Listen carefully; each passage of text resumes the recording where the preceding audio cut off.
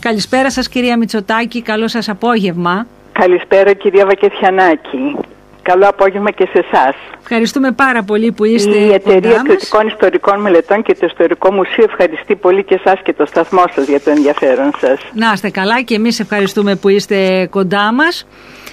Και με μια πολύ ωραία αφορμή, ε, φίλες και φίλοι δεν χρειάζεται η κυρία Μητσοτάκη ιδιαίτερες ε, ε, συστάσεις, είναι πολύ γνωστή για τη δουλειά της, για την προσφορά της ε, στα γράμματα, ε, Πρόσφατα, να το πούμε αυτό κυρία Μητσοτάκη, ότι λάβατε και το βραβείο Καζαντζάκη πριν από λίγα χρόνια, δηλαδή το 2018. Ναι, ναι, ναι, να τα λέμε τα καλά. Ναι, εντάξει, κυρία Βακεθιανάκη, ναι.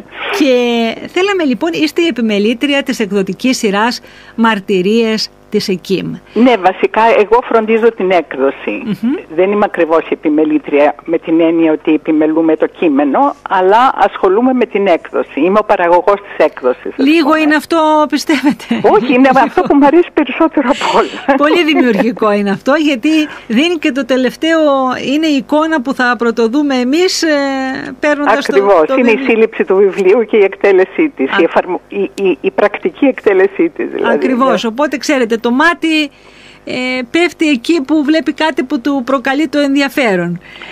Ναι, ξέρετε, αυτή η σειρά είναι πολύ αγαπητή και χαιρόμαστε πάρα πολύ γι' αυτό, γιατί ήταν μια καλή συγκυρία. Τα τελευταία χρόνια έχουμε παρουσιάσει, πλέον είμαστε στο 14ο, 15ο τόμο και είναι μ, αμύωτη, αμύωτο το ενδιαφέρον του κοινού και νομίζω πως έχουμε καταφέρει να βρούμε και τίτλους εξαιρετικά ενδιαφέροντες. Φωτίζουν πλευρές ιστορίες που δεν τις ξέραμε, πρόσωπα που έχουν δράσει με έναν τρόπο που πολύ μ, ευεργετικό και δεν τον ξέραμε. Δηλαδή είναι πια- πραγματικά ένα, ένα μικρό παράθυρο στην ιστορία πολύ ιδιαίτερο. Μμμ. Και το υλικό ε, όντως είναι ο 15ος αυτός, θα πούμε γιατί θα παρουσιαστεί αύριο το βράδυ ο 15ος. Ναι. Το υλικό αυτό ε, είτε για ένα κομμάτι της ιστορίας είτε για πρόσωπα κυρία ε, Μητσοτάκη είναι από το αρχείο του Ιστορικού όχι, Μουσείου; όχι, από δεν πού; είναι από το αρχείο. Μάλιστα. Είναι, ε, ε, ψάχνουμε να βρούμε ανέκδοτες μαρτυρίες. Είναι τελείως εκτός του αρχείου μας αυτό. Καμιά φορά συμπίπτει κάποιον να δοθεί και στα, για, να, αποκεί, να απόκειται πλέον στο Ιστορικό Μουσείο. Αλλά δεν είναι αυτό, δεν αντλούμε από εκεί. Αν- ε, Κάνουμε μία έρευνα γενικότερη και βρίσκουμε τίτλους πάρα πολύ ενδιαφέροντες. Και εξάλλου, όπως καταλαβαίνετε, από τη στιγμή που αυτό εμφανίστηκε, πολλοί άνθρωποι που έχουν μαρτυρίες έρχονται μόνοι τους και μας Ναι. τις α, α, παραδίδουν. Ναι, υπήρξε. Οπότε αυτό ε, ε, λειτουργεί σαν πόλος έλξης δηλαδή. Ε, Και αυτό είναι πάρα πολύ ενδιαφέρον γιατί αρχίσαμε με το, με, εστιάζοντας πάνω στο, στη μάχη της Κρήτης και στην κατοχή στην Κρήτη, αλλά έχουμε αρχίσει να προνόμαστε παραπέρα. Ναι. Και αυτό σημαίνει ότι αγκαλιάζεται και ένα μεγαλύτερο κοινό, όχι ότι τα γεγονότα βέβαια της, του νησχού ε, δεν έχουν ενδιαφέρον, ε, αλλά ό,τι περισσότερο είναι Ναι, πολύ, η σειρά πολύ αυτή σημαντικό. πωλείται στην Αθήνα. Πωλείται δηλαδή στο βιβλιοπωλείο του Μορφωτικού Ιδρύματος της Εθνικής Τράπεζας από πάντα. Είναι από τα βιβλία δηλαδή που γίνονται αναρ- ε, αγαπητά πα- και εκτός ε, Κρήτης. Πρώτα απ' όλα βάζουμε και τίτλους που δεν είναι κριτικών. Επί παραδείγματι ε, του, Θόδωρου Ρουσ- του, του ρουσοπουλου στο, μ, από, την, από τον Εύρο Ναι, το οποίο έχει κάνει μια τεράστια καριέρα στην ελλαδα διότι ενδιαφέρονται οι απανταχού θρακιώτες να το παρουσιάσουν και έτσι έχει, έχει συνεχείς παρουσιάσεις και στην Εύρο και στην Αθήνα και στην, στο Βόλο για παράδειγμα, καταλάβατε, έχουμε κάνει επανεκδόσεις βέβαια εννοείται. και η πάρα πολύ δυναμική και υπέροχη κόρη του κυρίου Ρουσόπουλου το κοινεί αυτό βεβαίως με μεγάλη δραστηριότητα.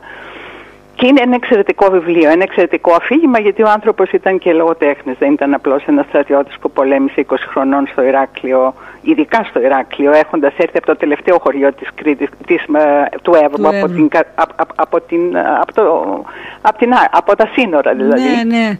Αυτό κάτι λέει βέβαια Ναι. για, το, για, για τον άνθρωπο Είναι ένα αυτό. εξαιρετικό αφήγημα, λέγεται η μάχη της Κρήτης, ναι. Ωραία, καλά μας το κάνετε και μας το υπενθυμίζετε. Ναι, ναι, γιατί πραγμα... το, το συνιστώ ως ανάγνωσμα σχέτως ο κάθε συμφραζόμενου. Ναι, εννοείται, εννοείται και εμπιστευόμαστε αυτό που μας προτείνετε. Να πούμε όμως και για αυτόν τον 15ο τόμο Βεβαίως, ναι. Ε, της σειράς που όπως είπαμε θα παρουσιαστεί αύριο το απόγευμα ε, στο, στο Ιστορικό Μουσείο. Και αφορά ένα άλλο πρόσωπο. Είναι, ναι, είναι μια σπάνια μαρτυρία επίσης ε, γιατί αφορά πλέον την, ε, ένα πρόσωπο που σε πάρα πολύ νεανική ηλικία, τον Νίκο Καραγιάννη δηλαδή, άνθρωπο ο οποίος ζούσε στην κοινωνία του Ρακλείου μέχρι το, πριν από δύο δεκαετίες ας πούμε, ο οποίος σε πάρα πολύ νεαρή ηλικία, ακόμα δηλαδή καλά καλά τελειώνοντας το σχολείο, μπήκε στην αντίσταση, ε, δούλεψε πάρα πολύ ως πληροφοριοδότης σε διάφορες επιχειρήσεις που γινόντουσαν την εποχή εκείνη στο Ηράκλειο. Δηλαδή φρόντιζε να είναι όπου γινόταν ένα πιθανό σαμποτάζ ή ε, μια συνεργασία. Δηλαδή παραδείγματο χάρη στο Καστέλιο όταν πήγε να δουλέψει ως διερμηνέα δήθεν, ε, ήταν η, εποχή που ο Ρόμελ ήταν στην ε, στην Αφρική, έτσι, οπότε έπαιρνε ναι. πληροφορίες και τις έδινε στους συμμάχους. Έκανε πάρα πολλές. Δηλαδή ασχολήθηκε με τους αντισυρμάτου, με όλα αυτά τα πράγματα, σε ένα δίκτυο με, κέντρο το Ηράκλειο. Και στη συνέχεια βέβαια πιάστηκε, πέρασε φεχτά βασανιστήρια, φυλακίστηκε στην Αγιά, δικάστηκε από το στρατοδικείο της Αγιάς, πήρε χάρη, αλλά παίρνοντας τη χάρη, αυτή η χάρη συνίστατο στο να τον μεταφέρουν στο Μαουτχάουζεν, καταλαβαίνετε τη χάρη. Και μετά είναι η παραμονή του στο Μαουτχάουζεν και τα ε, πώς να σας τα πω, τα δορυφορικά ε, στρατόπεδα γύρω από το Ματχάουζεν, το Μέλκ και το Έμπενζε. Το Έμπενζε στο Έμπενζε τελείωσε η, η θητεία του στα στρατόπεδα ως ε, όμηρος ας πούμε. Ναι. Ε, και μετά η επιστροφή του στην Ελλάδα, η ζωή του στο, στον εμφύλιο κτλ. κτλ. Ε, είναι μια πολυ Δεν είναι πάρα πολλές οι αφηγήσεις και μάλιστα αυτή τη έκταση που έχουμε από ανθρώπους που είχαν μεταφερθεί στα στρατόπεδα και οι ομιλητές μας αύριο θα τονίσουν και των δύο πλευρές του θέματος, δηλαδή ο κύριος Χανδρινός, ιστορικός ο οποίος είναι ερευνητής στην, στο, στο Μόναχο, θα, όχι στο Ρέβενσμπουργκ είναι, ε, θα μιλήσει στο Ρέγγενσμπουργκ, να θα το πω σωστά είναι ε, θα τονίσει περισσότερο την ε, πολιτική των Γερμανών απέναντι στους κατεχόμενους ως προς τη στρατοπεδική τους πολιτική ας πουμε και την εν δράση στην Ελλάδα. Ο κύριος Μαραβελάκης από την άλλη μεριά, ο οποίος είναι διδακτορικός ε, ερευνητής στο Μόναχο, θα μιλήσει περισσότερο για τους κριτικούς που είχαν μεταφερθεί στα στρατόπεδα, οι οποίοι δεν ήταν καθόλου και όπως αντιλήφθηκα μιλώντας χθες μαζί τους, ε, παρατηρήσαμε ότι ο αριθμός των κριτικών που μεταφέρθηκαν στα στρατόπεδα ήταν αρκετά μεγάλο σε σχέση με τον υπόλοιπο πληθυσμό που μεταφέρθηκε από την Ελλάδα. Ναι. Όχι, ε, εξαιρώντας τους, τους το εβραϊκό στοιχείο βέβαια, ναι, ναι, τους Εβραίους. Ναι, τέλος πάντων θα μας πούνε πάρα πολύ ενδιαφέροντα Ωραία, πράγματα. Καλά κάνετε όμως και μας το λέτε, γιατί ε, θα μπορούμε να έχουμε μία επαφή με τους ομιλητές αυτούς, να τους φιλοξενήσουμε μετά φυσικά από την εκδήλωση, να μας μιλήσουν δηλαδή και κόσμος που δεν θα μπορέσει να βρεθεί. Βεβαίως. Ε, δηλαδή εμείς χαιρόμαστε πάρα πολύ να φέρουμε σε επαφή τέτοιους ανθρώπους που έχουν κάνει μια έρευνα σε ένα αντικείμενο το, στο οποίο εμείς δεν, έχουμε, δεν είχαμε πρόσβαση, δεν έχουμε Ναι, δεν είναι πολύ μελετημένο κυρία Βακετιανάκη ναι. αυτό το πεδίο. Ναι. Δηλαδή πραγματικά οι ενδιαφερόμενοι θα έχουν πολύ μεγάλο... Ε, ε, θα, θα βρουν πολύ μεγάλο ενδιαφέρον στο, στη, σε, σε, μια επαφή με τους ναι, ερευνητές μας. Με τους ερευνητές αυτούς, ναι. οπότε δεσμευόμαστε μιας και μας τους αναφέρατε να επικοινωνήσουμε μαζί τους και να, να ακούσουμε αυτά τα πολύ ενδιαφέροντα που θα έχουν να μας πούν και αυτό είναι και το ωραίο γιατί ε, δίνετε την αφορμή μέσω της παρουσίασης ενός βιβλίου όπως το έχετε κάνει και στους, στις παρουσιάσεις των προηγούμενων τόμων φυσικά να ακούμε ανθρώπους που έχουν μελετήσει την ιστορία κάτω από μια διαφορετική οπτική ματιά και μας παρουσιάζουν ένα υλικό το οποίο εμείς εμπολής αγνοούσαμε ή τέλος πάντων δεν γνωρίζαμε ναι, τόσα. Όχι, ναι, όχι. Πραγματικά δεν το γνωρίζουμε. Διότι ναι. ποιος, πόσοι νομίζετε ότι είναι μελετητές που έχουν κοιτάξει τα, τα, τα αρχεία του Μαουτχάουζεν; Ο κύριος Μαραβελάκη το έχει κάνει. Δηλαδή ναι. όταν εγώ τον πήρα τηλέφωνο για να τον πω, να τον παρακαλέσω να πάρει μέρος στην παρουσίαση, μου είπε αμέσως τον αριθμό του. Τον ήξερε. Αχαχαχα. Καταλαβαίνετε, Ναι, είχα ναι. μείνει λίγο άφωνη. Ναι, ναι, ναι, έχετε δίκιο σε αυτό. Ναι, επίσης δηλαδή παρατήρησε ότι κάποιες ημερομηνίες στο κείμενο δεν ήταν σωστές και έχω μας βοήθησε να κάνουμε μια σημείωση στο τέλος, καταλάβατε; Δηλαδή μιλάμε για πάρα πολύ συστηματική δουλειά και σε ένα χώρο που δεν είναι προσιτό στον καθένα. Ναι, και μιλάμε τώρα βέβαια για μια περίοδο, για στρατόπεδα, μια σκρέμη για, τα, στρα- λέμε για το Mauthausen ε, τώρα. Ε, πραγματικά δεν ήταν μόνο στρατόπεδα συγκέντρωσης, ήταν και ε, πραγματικής φυσικής εξόντωσης. Η, ειδικά του Στην Αυστρία. Μαουτχάουζεν, από ό,τι μου μίλησα μαζί τους και έμαθα, γιατί δεν είναι γνώση που τις έχω αντλήσει μοναχή μου, ήταν από τα πιο τιμωρητικά στρατόπεδα που υπήρχαν. Ναι. Χωρίς να είναι στρατόπεδο εξόντωσης Α, στη βάση του εβραϊκού ε, του ολοκαυτώματος, έτσι. Ναι, ήταν ναι. στρατόπεδα κυρίως καταναγκαστικής εργασίας, αλλά ήταν τιμωρητικά στρατόπεδα.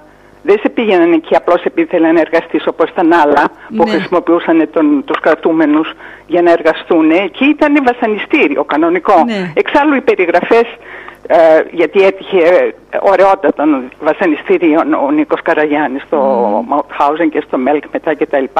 Ήταν, ήταν μεγάλης αγριότητας. Μμμ, μμμ. Ναι, φο- Και φοβερό. ο, ο, οι, τα, οι, οι, επιβι- οι επιζήσαντες δεν ήταν πάρα πολλοί. Μμμ. Και κατά τον ε, Νίκο Καραγιάννη, μάλιστα οι Έλληνες κατάφεραν να έχουν μεγαλύτερο αριθμό μ, ε, επιζησάντων Από- από, ό,τι άλλοι, από ό,τι ε, άλλοι. άλλες εθνικότητες στα στρατόπεδα αυτά. Οι Έλληνες και οι Γάλλοι ήταν οι πιο, αυτοί που είχαν τις λιγότερες απώλειες. Απώλειες. Μμ. Ε, έχει ενδιαφέρον να δούμε και τους λόγους ε, γι' αυτό. Ε, θυμόμαστε και το έργο βέβαια το Mauthausen του Ιάκωβου Καμπανέλη. Βέβαια, με ο, τις ο δικές του Καμπανέλης του μνήμες. Μοτχάουζεν ήταν. Ναι, τις δι- στην Αυστρία για Βέβαια. όσους δεν γνωρίζουν. ε, Ναι, είναι αυστριακά στρατόπεδα και τα τρία. Μα και νομίζω- το Μέλκ και το Έμπεντζε. Ναι. μ, και μας, ε, έτσι μας ε, ξυπνάνε στις μνήμες από αναγνώσματα επειδή δεν ζήσαμε βέβαια αυτήν την ε, περίοδο ε, πραγματικά εξαιρετικής βιαιότητας και ίσως ε, μ, σκεφτόμαστε τώρα λίγο ρομαντικά θα μου πείτε κυρία Μητσοτάκη α- αυτήν την, την, ε, το, το κτηνώδες του ενός ανθρώπου απέναντι στο, στο συνάνθρωπο. Θα μου πείτε τώρα τι- Όταν περιγράφει αυτό κυρία Βακεθιανάκη με μεγάλη ακρίβεια ο Νίκος Καραγιάννης, δηλαδή δεν φίδεται των λόγων του, τα περιγράφει όλα με αρκετά νατουραλιστικά. Ε, ε, δηλαδή δεν, ενδεχομένως να μην είναι και άκρος εμ, ελκυστικά. Ναι, ναι, τα, ναι, ναι. Οι αράδες αυτές να μην είναι πολύ ελκυστικές, αλλά είναι πάρα πολύ πραγματικές και τις, ε, έχει μια ακρίβεια στο γράψιμό του. Δεν υπερβάλλει, Απλώς τις καταγράφει, αλλά αυτό το βασανιστήριο αρχίζει από, την, α, από το Ηράκλειο. Δεν είναι ότι του, το συμβαίνει μονάχα στην, α, Ναι, στα με- στρατόπεδα, όταν φτάνει τα στο- ναζιστικά έτσι. Δηλαδή και εδώ στα γραφεία της Γεστάπο, ας πούμε, δεν παίρνει και καλύτερα. Ήταν, είναι φρικτές οι σκηνές που μας περιγράφει από, τον, από τη σύλληψή του και από την, τα βασανιστήρια που του κάναν για να ομολογήσει τη συμμετοχή του στην, α, στην αντίσταση και την συνεργασία με τους Βρετανούς κτλ. Ναι, και η, επι, δηλαδή και η επιβίωση βέβαια σε ένα τόσο, σε ένα φρικτό περιβάλλον και το τι βέβαια μπορεί να συνοδεύει τον άνθρωπο κυρία Μητσοτάκη, γιατί ναι επέζησε αυτός και άλλοι άνθρωποι και από τα υπόλοιπα στρατόπεδα σε ό,τι κατάσταση κατάφεραν να δηλαδή ό, όπως ήταν βιολογικά ναι, τους ναι, έχουμε εκείνος δει. θεωρεί ότι τα, η νεαρή του ηλικία και η πολύ καλή του κράση του επέτρεψαν να επιβιώσει. Α, Αχα. γιατί πραγματικά πέρασε πολύ δύσκολα πράγματα. Ναι. Και, και πώς, άντεξε, ας πούμε- άντεξε σε, σε, σε βασανιστήρια που κανένας άλλος δεν είχε αντέξει. Ναι. Και, και αυτό πώς, το, κου- πώς καταφέρνεις α, να καταλαγιάσει μέσα σου ή, ή να, το, να το ελέγξεις μέσα σου όλο αυτό το βίωμα ε, στην υπόλοιπη ζωή σου. Γιατί αν δεν και επέζησες από εκεί, έχεις ένα βίο υπόλοιπο. Αυτό το βίωμα, το σκληρό, πόσο σε έχει ελέγξει ή έχει καθορίσει την υπόλοιπη ζωή σου; Ναι, είναι έτσι κυρία Βακεθιανάκη, αλλά ξέρετε, επειδή κάποια στιγμή όλα τα κακά ξεπερνιόνται όταν Ναι. ζεις, εκείνο που εμ- εμένα μου φέρνει τη μεγαλύτερη στεναχώρια είναι οι άνθρωποι εκείνων που χάθηκαν. Οι οικογένειές τους, οι αγαπημένοι τους, ανθρώπων που ξέραν ότι, χάθηκ, ότι οι δικοί τους χάθηκαν εκεί πέρα. Δηλαδή αυτό, μέσα στο διάστημα του χρόνου που περνά, δεν νομίζω ότι είναι τόσο εύκολα κολλάσιμο Ναι. όσο είναι το να διατρέψει κανείς τις δικές του τις πληγές, φυσικά κάτι αφήνει. Δεν Ναι. υπάρχει περίπτωση να μην αφήσει. Ναι. Και όπως ξέρετε, όλοι αρχίσαν να μιλάνε από τα στρατόπεδα με μεγάλη καθυστέρηση. Ε, Στην αρχή δεν μιλούσε κανείς για τα στρατόπεδα. Ναι. Και πώς, και πώς να μιλήσει και Ούτε έχετε για τη δίκιο. ΣΟΑ δεν μιλούσαν. Ναι. Έχετε δίκιο. Οι άνθρωποι που ε, είναι ακόμα με τα ερωτηματικά, οι απόγονοι αυτών των α, ανθρώπων που. Ναι, αυτό το μυστήριο, αυτό το, Ναι. αυτή η σκοτεινιά που μπορεί να, Ναι. να, να υπάρχει, καταλάβατε, γύρω από την τύχη κάποιου ανθρώπου. Ναι. Ναι, το βρίσκω πολύ οδυνηρό αυτό το πράγμα. Και φέρε, βλέπουμε τώρα, ε, συζητάμε αυτό το θέμα που έχει ένα ξεκάθαρα αντιπολεμικό μήνυμα και αυτό το βιβλίο επίσης έχει το δικό του αντιπολεμικό μήνυμα σε μια περίοδο ε, που βλέπουμε πάλι τόση βιαιότητα, τόση σκληρότητα να ναι, και συμβαίνει ανεξέλεγκτες προοπτικές. ακριβώς στον 21ο αιώνα. Έτσι. Ναι. Ε, έτσι είναι. δεν μαθαίνουμε δηλαδή. Αυτό είναι το, το πλέον Όχι. σίγουρο. Ναι, αυτό είναι βέβαιο. Ναι. Ναι. Κάποιοι μαθαίνουν και οι περισσότεροι δεν μαθαίνουν. Δεν μαθαίνουν. Αυτό. Ναι. Και οι ισχυροί. Αυτοί που το, θα έπρεπε να μαθαίνουν πάντως δεν μαθαίνουν. ε, το θέμα είναι οι ισχυροί, γιατί Ναι. λίγα πέρασαν και οι Ρώσοι ε, στο δεύτερο παγκόσμιο πόλεμο, παραδείγματος Α, χάρη, το το- πιο πρόσφατο, ας αναφέρουμε. Ειδικά τους Ρώσους τους θαυμάζει πάρα πολύ για την αντοχή τους στα στρατόπεδα και για την αυτοθυσία τους. Ότι Να- ανέβαιναν στο ικρίωμα φωνάζοντας, α, δηλαδή με, με μια λεβεντιά ανεφροηγουμένου. Ναι. Είναι η, η εθνότητα που του προξενεί τη μεγαλύτερη, το μεγαλύτερο θαυμασμό από όλες όσες γνώρισε στα στρατόπεδα. Αλήθεια. Μμ. Ναι. Ναι, να, δηλαδή ένας λαός που αν δει κανείς εκεί με τις μάχες που έγιναν ε, στην περίοδο του, της ε, γερμανικής κατοχής θα καλά. πει πραγματικά ε, ότι συνέβη μια αποκάλυψη επίσης Ναι. και ότι αυτό ε, φωτίζει το δρόμο αυτού του λαού, του εκάστοτε λαού να, να προχωρήσει κάτω από διαφορετικές έτσι, ε, συνθήκες στο μέλλον. Ναι, δεν δεν λειτουργεί αυτό. Ναι, και δεν είναι γραμμική ιστορία. Ναι, ναι. το μάθαμε πια. ναι, ναι, το Ναι. αντιλαμβανόμαστε. ναι, ναι. Ε, κυρία Μητσοτάκη, πρέπει ναι, να παρακαλώ. μ, πω πριν κλείσουμε κυρία Βακεθιανάκη ένα μεγάλο ευχαριστώ στις, α, στην οικογένεια Καραγιάννη, στις κόρες του που μας παραχώρησαν το σπάνιο αυτό βιβλίο και βεβαίως θα έχει όποιος έρθει αύριο την ευκαιρία να ακούσει και την α, Πόπη Καραγιάννη η οποία θα απευθύνει ένα χαιρετισμό. Ναι, η κόρη του βεβαίως. Ναι, ναι. Μμμ, μμμ. Αύριο, όπως είπαμε, 7 το 7 η απόγευμα. ώρα, ναι, 7 του μήνα, 7 η ώρα νομίζω, έτσι δεν είναι; 7-7 έχετε δίκιο και σε ένα πολύ όμορφο χώρο στον κήπο του Ιστορικού Ναι, Μουσείου. και με όλα τα μέτρα βέβαια τα αντι-COVID α, παρμένα και τα λοιπά και τα λοιπά, ναι. Πολύ ωραία, ιδανικές συνθήκες. Ναι, ελπίζω. Κυρία Μητσοτάκη, σας ευχαριστούμε πάρα πολύ Εμείς ευχαριστούμε πάρα πολύ κυρία Βακεφιανάκη. για την ωραία συζήτηση.